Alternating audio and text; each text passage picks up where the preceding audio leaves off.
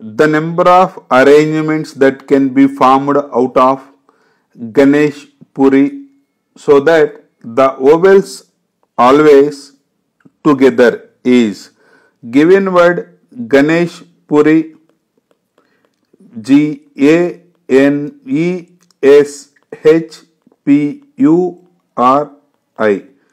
Vowels A E U I consonants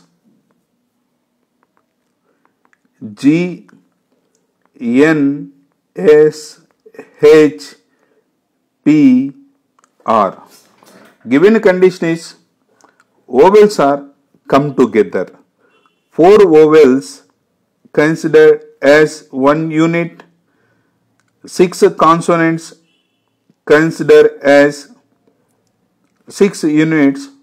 Total seven units.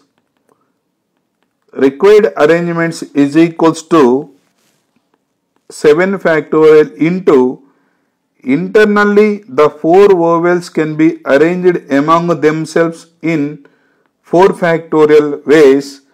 So the correct answer is third option